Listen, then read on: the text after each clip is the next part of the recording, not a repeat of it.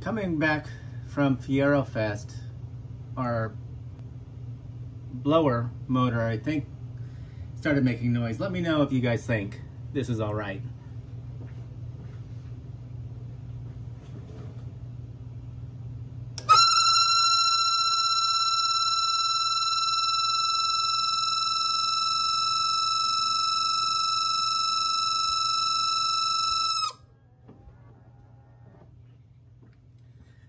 Something tells me that's not.